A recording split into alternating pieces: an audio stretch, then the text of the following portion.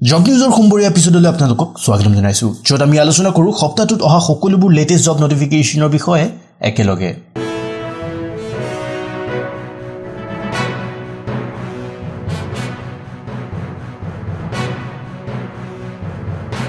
বন্ধুসকল এই সপ্তাহৰ ফাৰ্ষ্ট নটিফিকেশ্যন আৰু এই সপ্তাহতে লাষ্ট ডেট আৰ পি এফৰ কনষ্টেবল পষ্টৰ টোটেল পষ্ট আহিছিলে চাৰি হাজাৰ দুশ আঠটা।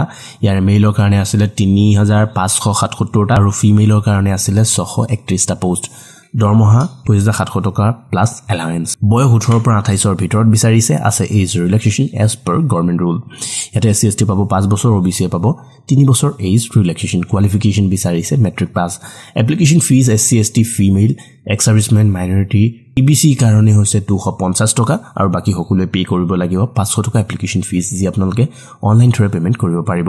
এপ্লাই আপোনালোকে ৰেলৱেৰ অফিচিয়েল ৱেবছাইটৰ পৰা কৰিব পাৰিব। মন দিব ইয়াৰ এপ্লাই ষ্টাৰ্ট হৈছিলে পোন্ধৰ এপ্ৰিলৰ পৰা আৰু এপ্লাই কৰা লাষ্ট ডেট হৈছে চৈধ্য মন দিব এপ্লিকেশ্যন ফিল আপ কৰোঁতে যদি কিবা ভুল হৈছে মডিফিকেশ্যন কৰিব পাৰিব আপোনালোকে পোন্ধৰৰ পৰা চৌব্বিছ মে'ৰ ভিতৰত। কনষ্টেবলৰ লগতে ছাব ইন্সপেক্টৰ পষ্টৰো মুকলি হৈছিলে আৰ পি এফৰ টোটেল পষ্ট আহিছিলে চাৰিশ বাৱন্নটা ইয়াতে মেইলৰ কাৰণে আছে তিনিশ চৌৰাশীটা আৰু ফিমেইলৰ কাৰণে আছে আঠষষ্ঠিটা পষ্ট বিছৰ পৰা আঠাইছৰ ভিতৰত বিচাৰিছে আছে age relaxation age per government rule S C S T পাব পাঁচ বছৰ অ' বি চি পাব তিনি বছৰ এইজ ৰিলেক্সেশ্যন কোৱালিফিকেশ্যন বিচাৰিছে graduate any discipline arts science commerce আপুনি যিকোনোৰে হ'লে এপ্লাই কৰিব পাৰিব।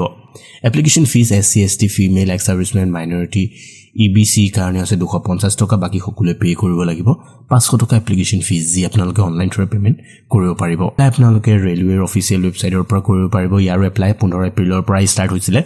চৈধ্য মে' হৈছে ইয়াৰ লাষ্ট ডেট আৰু মডিফিকেশ্যন কৰাৰ। মডিফিকেশ্যন আপোনালোকে পোন্ধৰৰ পৰা চৌব্বিছ মে'ৰ ভিতৰত কৰিব পাৰিব। নেক্সট নটিফিকেশ্যন নবোদয় বিদ্যালয় সমিতিৰ পৰা আহিছে।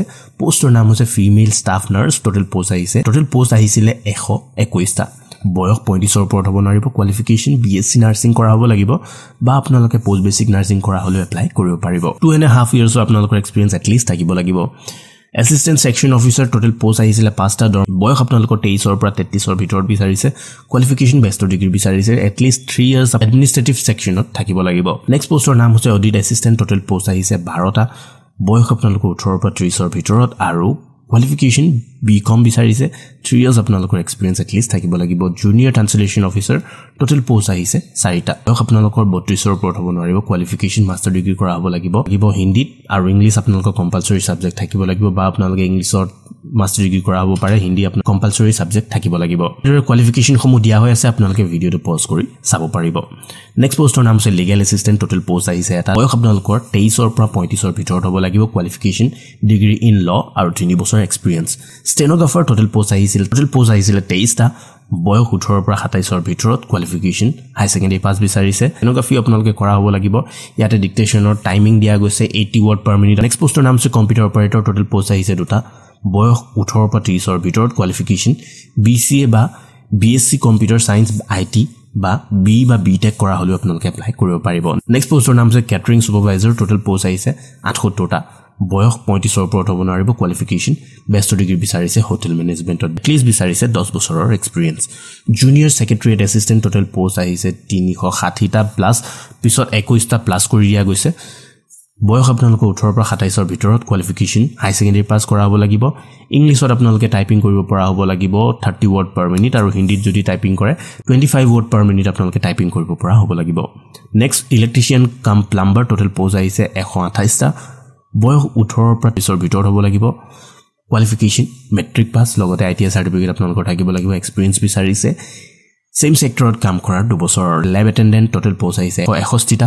বয়স আপোনালোকৰ ওঠৰৰ পৰা ত্ৰিছৰ ভিতৰত কোৱালিফিকেশ্যন মেট্ৰিক পাছ চাৰ্টিফিকেট বা ডিপ্ল'মা কৰা হ'ব লাগিব লেবৰেটৰী টেকনিচিয়ান বা আপোনালোকে হাই ছেকেণ্ডেৰী পাছ কৰা হ'ব পাৰে ছায়েন্সত next maths helper total post আহিছে চাৰিশ বিয়াল্লিছটা ইয়াতে বয়স আপোনালোকে ওঠৰৰ পৰা কোৱালিফিকেশ্যন মেট্ৰিক পাছ বিচাৰিছে পাঁচ বছৰ এক্সপিৰিয়েঞ্চ এটলিষ্ট থাকিব লাগিব। Multitasking staff M T S total post আহিছে ঊনৈছটা বয়স আপোনালোকৰ ওঠৰৰ পৰা ত্ৰিছৰ ভিতৰত। কোৱালিফিকেশ্যন বিচাৰিছে মেট্ৰিক পাছ এপ্লিকেশ্যন ফিজসমূহ পষ্ট অনুসৰি বেলেগ বেলেগ।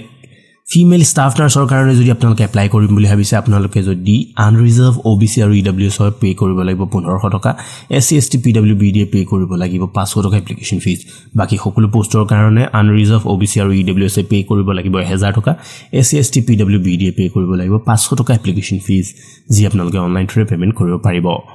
নবোদয় বিদ্যালয় সমিতিৰ অফিচিয়েল ৱেবছাইটৰ পৰা কৰিব পাৰিব অনলাইন এপ্লাই মন ইয়াৰ এপ্লাই ষ্টাৰ্ট হৈছে বাইছ মাৰ্চৰ পৰা আৰু এপ্লাই কৰাৰ লাষ্ট ডেট হৈছে চৈধ্য মে' আগবাঢ়িছোঁ এই সপ্তাহৰ নেক্সট নটিফিকেশ্যনৰ ফালে।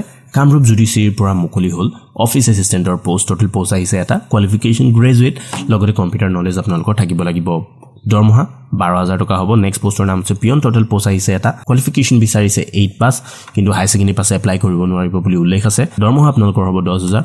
হাউ টু এপ্লাই কেনেদৰে আপোনালোকে এপ্লাই কৰিব অফলাইন এপ্লাই কৰিব লাগিব ষ্টেণ্ডাৰ্ড ফৰ্ম ফিল আপ কৰি লগতে দিবলৈ নাপাহৰিব আপোনালোকৰ সকলো লাগতিয়াল ডকুমেণ্টছ ছেল্ফ এটেচ কৰি যেনে educational qualification certificate age proof caste certificate employment এক্সচেঞ্জৰ registration card experience certificate যদি আছে ৰিচেণ্ট পাছপৰ্ট চাইজ ফটো ইত্যাদি আৰু পঠিয়াব লাগিব তলৰ যোনটো এড্ৰেছ দিয়া গৈছে এই এড্ৰেছত মন দিব ইয়াৰ এপ্লাই কৰাৰ লাষ্ট ডেট হৈছে একৈছ মে' তো বন্ধুসকল আজি ভিডিঅ'টো চাই আপোনালোকে কেনে পালে? প্লিজ কমেণ্টত জনাব। যদি ভাল পাইছে লাইক কৰক কমেণ্ট কৰক কিবা ৰিকুৱেষ্ট থাকিলে কমেণ্টত লিখিব পাৰে। লগতে শ্বেয়াৰ কৰিব নাপাহৰিব যিসকল ফ্ৰেণ্ডে মোৰ ভিডিঅ' এতিয়ালৈকে চাব পৰা নাই।